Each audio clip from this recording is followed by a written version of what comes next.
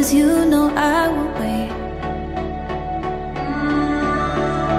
Come on guys, welcome to this video. We are in France. Okay, so we got my cousin, hey. we got Sophia. Hey. Okay, awesome. So we're here, uh, we're in our Airbnb right now, and um, here, let me show you guys around. Okay, so this is the kitchen, all right? We got the kitchen, we got some gains being gonna be made over here, you know, we got the sink gains, we got the pantry, or we got this cabinet gains. We have microwave gains, trash can gains, toaster gains, iPod gains. Um, and then we go out to this room. We got sofa. We have this like all these two awesome windows. They're awesome because they're awesome. And um, we have a table. We have this little area right here, and a bed. The bathroom right here. We were really we were really disappointed when we didn't get one of those fancy toilets that cleans your butt. Whatever. Next time. Um, but yeah, we got a we got a sh- nice shower. Do selfie game. Poof. All right. We got a sink and let me show you guys the view real quick. See that view? So dope. So dope. So as you guys can see, we're we're living it up right now. So um, today I'm actually gonna like kind of do this on the spot. We're gonna do a full day of eating. It's currently almost three here, so I'm gonna technically break my fast right now. I'm gonna have one bowl of oatmeal with uh, one packet of oatmeal and then one scoop of PEScience vegan protein, and then I'm probably gonna put like maybe some stevia in there if I can find some, or just some sugar, I guess and, uh, and that's to be our very first meal. Just because you're on vacation does not mean you have to go absolutely crazy. Yes, we're to probably eat out today, but it's to be more of an intuitive eating approach. So I'm to walk you guys through exactly how I like look at the menu and make sure that it's like quote unquote macro and calorie friendly. Okay, so let's get to it.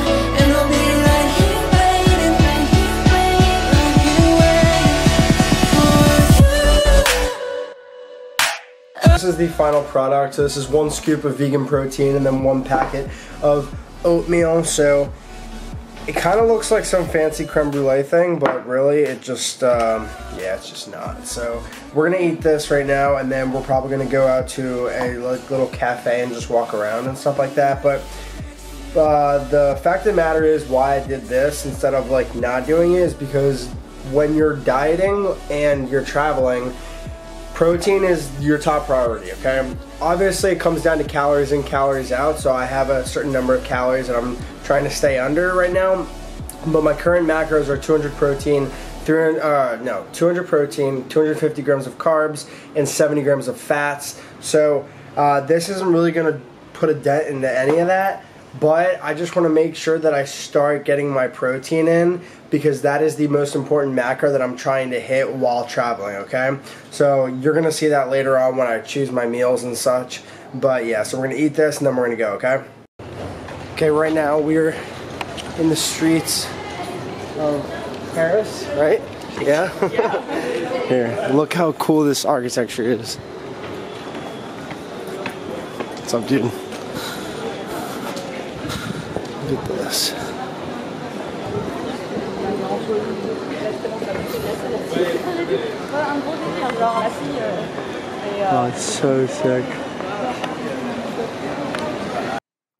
Welcome to this commentary, guys. I'm just going to kind of talk about what is in front of me right now and a little bit of how I go about tracking this kind of stuff. So, as you can see, we're in France. So, it says rib steak, approximately 280 grams. So, they actually gave you the measurements to that, which is absolutely amazing. Like, usually you do not see that at restaurants. So, basically, what I just did is I went on MyFitnessPal and then I just searched that up and I just put it into my um, my calories for the day, and that's exactly how I tracked it. Okay, now uh, after searching it up on MyFitnessPal, I got a pretty rough estimate Uh, of course, I rounded up a little bit just because I knew, you know, it wasn't going to be 100% like 280 grams of beef. Uh, you know, it said it was approximate, but that's completely fine.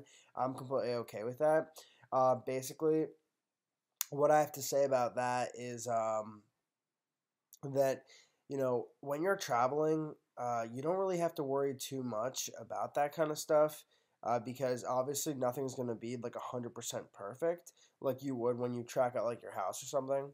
But yeah, I just wanted to show you guys how I go about tracking my food and everything like that when I'm out traveling and especially like in another country. Here you see me pushing the bread away. Do not have the bread. I know it's tempting. You gotta put that crap away. Uh, here you see that I took the sauce out just to make sure that I got a little bit less calories in. And then this specific uh, instance with the fries and stuff, what I did is type in French fries on MyFitnessPal, and then I just estimated the weight. Now the good thing about tracking your macros all the time is that I can I'm really good at estimating weights for food and such, and that's why I always recommend that you guys do that too. Uh, I also had uh, that little bit of salad, and then I also had an espresso as well. And then uh, there you saw my sister's dessert is literally on fire. I don't even know. I think that's creme brulee. Um, but yeah, no dessert for me. Just kind of cut back on the calories and such. So yeah, that's pretty much it. I also did have a Diet Coke as well. So let's see what this next scene is. So there we go. That's pretty much everything for this meal. And here we're going to head out of the restaurant. And uh, yeah, so that's how you guys track your food in terms of going out to eat and stuff like that. Just search everything up on MyFitnessPal and it should be pretty self explanatory, okay? Okay, so we're walking in Paris right now. We just finished up that meal. Uh, it's pretty good.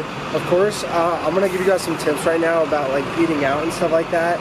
Yes, there was a lot of calories in that meal, but it doesn't really you have to take into consideration a bunch of different things and this is why I always recommend that you weigh out your food because because I weigh out my food I'm really nutritiously conscious I think that's the word. But pretty much what that means is that I can look at a plate and pretty much determine just about how many calories is in the plate. When I look at food and everything like that I can pretty much take into consideration all the different fats carbs and proteins that it has in it. So just keep that in mind when you guys are going out.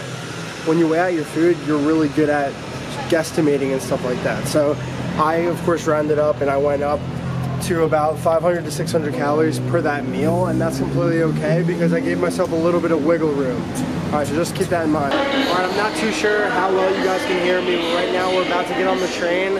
Um, in France, there's pretty much like no English translations as far as we're concerned.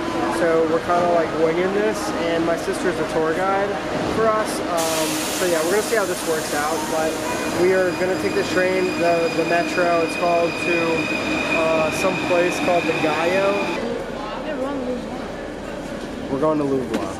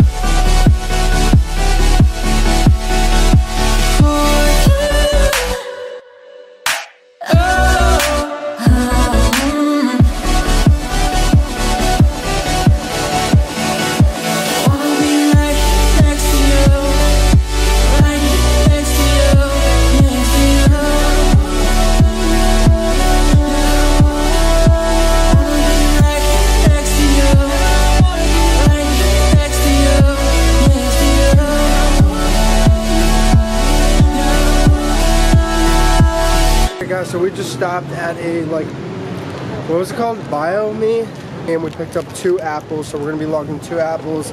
Uh, I usually do one apple is either 22 to 25 grams of carbs, and that's it.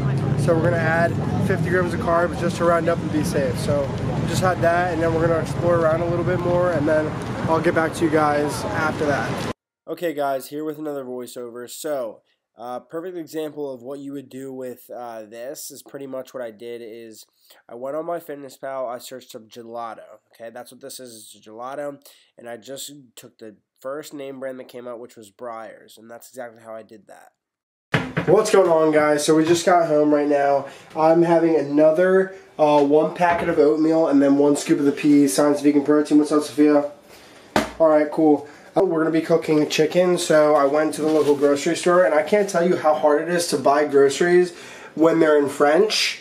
It's impossible. So I finally found the chicken in the um, in the place, and literally like how clutch is this? If you if you track macros hardcore and you've had to use these before, you know that this is literally like a godsend lifesaver. Okay, Uncle Ben, thank you for going international for me. I appreciate you, boy. And yeah, so we're gonna probably have one of these too. I need to look at my macros after I have this little creme brulee looking oatmeal chocolate thing. And then yeah, we're gonna eat that, and then we're gonna cook some chicken, and I'll show you guys that in a second.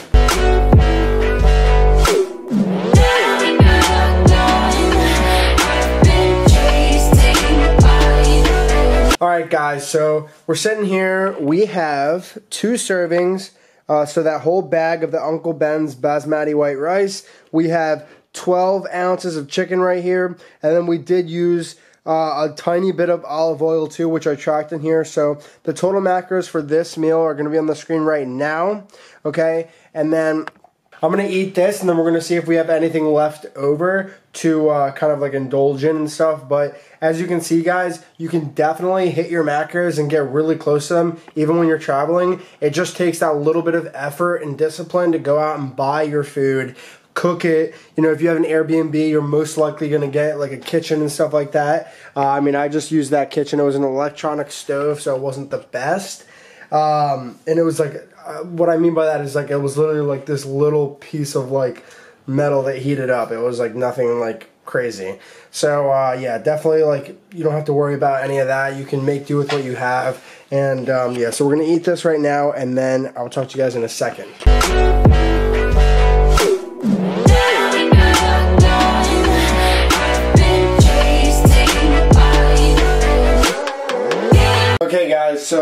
Uh, we just finished that up, and we have about 25 grams of carbs left. So I looked around the house, and we had these. So these are Haribo's, like little. Uh, you guys definitely know these. There's like sour, like sugary goodness, and they're like little like licorice things. And I weighed out 25 grams, and we are Gucci. It's like about 20 grams of carbs, so I'm still going to be a little bit under. Um, but yeah, guys. So I'm gonna put the macros for this exact little snack on the on the on the screen right now, and uh, yeah, just so you guys can know. Okay, guys. So we I actually literally didn't even get to film the rest of what happened last night because I was so. I guess you can call it jet lagged, and I was just so tired. So I went to bed early so I could wake up uh, early this morning to edit videos for uh, a couple things that I'm doing on the side, and then just currently like YouTube videos and whatnot. But yeah, so that was a full day of eating yesterday, guys. The key main takeaway is that when you track your food at home, when you travel, it's a lot easier to kind of figure out however many calories you're going to be able to have. You're able to do this on the fly. Um, not everything has to be spot on when you're traveling because it's just not all right but you can do things in order to prepare okay? So yesterday i didn't not go out to eat okay? I went out to eat two times. The first time i had the steak french fries and a little bit of salad. Or that meal was roughly 500 calories. And then the time i went out after that was the gelato and that really wasn't anything either okay? So pretty much what i did for both meals is search up the individual ingredients and estimate the sizes and the measurements for each specific uh, food that I was eating. And then I just calculated that in MyFitnessPal, and it was all good. It gave me a really, really rough estimate. Um, another thing that I want to like kind of add in there is that um, don't be lazy. Okay, so when you travel, a lot of people make excuses as to why you're not sticking to your macros, sticking to your calories and whatnot. But yes, you can enjoy yourself, you can enjoy the sights, and you can say no to like the temptations that surround you. Okay, so thank you guys so much for watching the very first video for these uh, Paris and Spain Spain vlogs. This episode was a full day of eating, and then the next couple ones, I'm not really too sure what I'm gonna do. I'm gonna try and get lifting content of course, eating foods and tracking macros while you're out. I also want to give you guys my top tips for uh, staying in shape while traveling, so that might be the next video. But stay tuned, guys, because I want to help you uh, the best that I can and just educate you guys on how you can track macros while you travel and stuff. So, thank you guys so much. Subscribe if you guys want to see more. Like this video if you guys enjoyed it. I'll see you guys in the next one. See ya. Thank you.